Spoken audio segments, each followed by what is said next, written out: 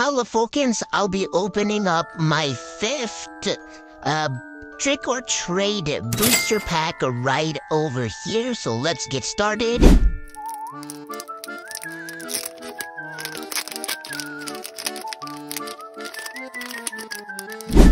Let's start off with Drifloon, and a Dusknoir.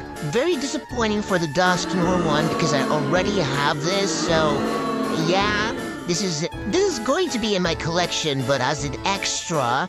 And then we have these two here that I have not gotten yet. The Banette and a Diff, uh, what's it called again? Drifloon. I like the Banette one a lot more. Look at that.